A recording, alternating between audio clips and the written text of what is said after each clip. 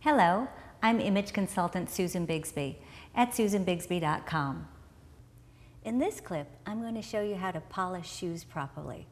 I bet a lot of you don't even bother to polish your shoes anymore. Do you even take them to the shoe man?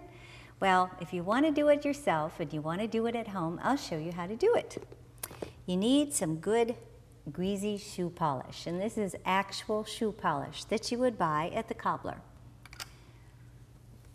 And you need a soft cloth, any kind of soft cloth. This is a knitted, very soft cloth. You rub it in the paste, and then you take it to the shoe, and you rub.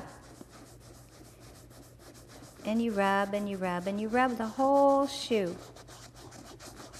And once you've done the whole shoe, you come back over it, and you start to buff just to lift off that excess polish. And it starts to really, really make the shoe shine nicely. The more you buff, the more you shine. And then once you feel like you've really cleaned all the polish off the shoe, you come back with a brush, a nice natural hair shoe brush, and you, sh you shine and you buff and you shine and you buff.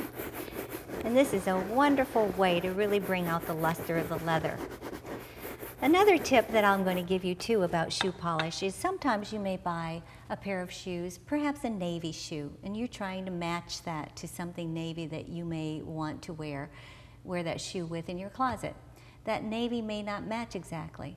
So a little tip is to polish that navy shoe with black shoe polish and it turns that navy into a very, very, very dark navy, and that may be the shade that you're trying to match to your clothing, because most navies in clothing now are very, very dark.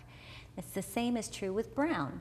If you have a pair of shoes that's maybe too light a shade in brown and you need a deeper shade, polish it in black polish. It works every time. This is Susan Bigsby. Thanks for watching.